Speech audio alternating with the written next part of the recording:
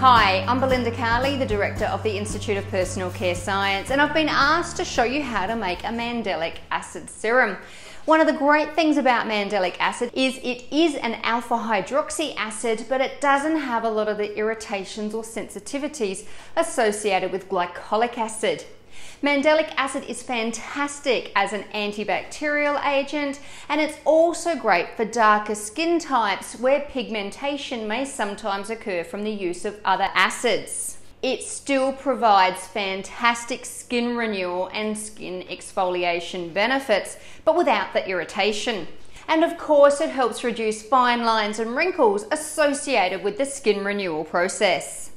So now let me show you how to make a mandelic acid serum. Now you can contact us for the full formula, method and supplier details. I'm starting here with my water and my glycerin and to this I'm adding some Sepimax Zen. This is a polymer that is highly electrolyte tolerant. It can handle just about anything you're going to throw at it and this is important in an electrolyte rich and acid rich product like the mandelic acid serum we're making today. A lot of your polymers just can't handle this highly acidic environment. So I'm using the Sepimax Zen so I can form a really nice gel form to the finished product. Now, one of the things you'll notice about Sepimax Zen is it takes a little bit of time to hydrate. So I've added it and I'm just stirring it to make sure I don't have any major clumps, but you can see here it's not fully hydrated. What I'm going to do is finish adding all other components of the formula. I'm adding a hyaluronic acid copolymer material here. This just helps with skin penetration. I'm adding the mandelic acid. And in this formula, I'm using 5%. There's a really important reason for that, which I'll explain to you in a moment. I'm then also adding a plant extract, my preservative, and a little bit of fragrance. Now I'm just going to stir this all together to combine it. And again, you'll notice that on the day I make it, the Sepimax Zen does not fully hydrate. I just want to make sure that today it's not too clumpy so that by the next day the polymer will be fully hydrated and I can form my beautiful serum.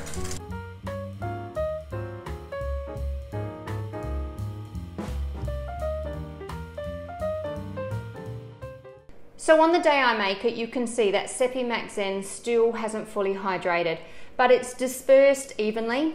I would now cover this and leave it till tomorrow. Now here's a sample I made yesterday, and you can see how the polymer has hydrated. I've just uncovered this sample to show you this is how it looks. This is quite normal. Now I'm able to give it a final stir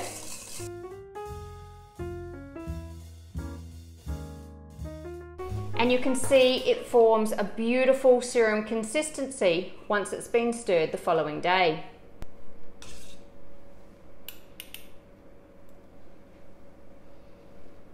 And the polymer has hydrated evenly. Now the product I've made here is intended to be left on the skin. Obviously when you're using any sort of acid or skin renewal product, you should be protecting your skin from additional sunlight because you will be removing the outer cells on your skin to get that renewed surface. Now the very important thing I've done in this formula is I've kept my mandelic acid content to 5%. And at 5% it will have a pH naturally occurring in this solution at about pH 3.5 which means we've got great bioavailability of the acid, but because of the cross polymer I've used and the large molecular size of mandelic acid, it won't cause excess skin irritation. You'd be best to use this with an SPF moisturizer during the day as well for added protection. One of the things to be careful of when you're making your mandelic acid products or any acid products for that matter is don't add a high amount of the acid just to have a great label claim and then adjust the pH up afterwards. For example, if I was to use 5% of mandelic acid and then neutralize it to bring the pH back to 5.5, I no longer have a large amount of mandelic acid bioavailable to have the best performance. You'll see some products out there claiming 10% mandelic acid content, and when you check the pH, it might be around 4 or 5, which means they've neutralised at least half of the mandelic acid that they've added to the formula. You're actually better off using less of the acid to get the natural pH where you want it than using more of the acid and then neutralizing it so you've actually got less of the acid bioavailable by the time you've finished your formula. Remember, you can contact us with this full formula, method, and supplier details. I hope you've enjoyed this video showing you how to make a mandelic acid serum and ensure you've got a lot of the acid available for the best performance from the finished product.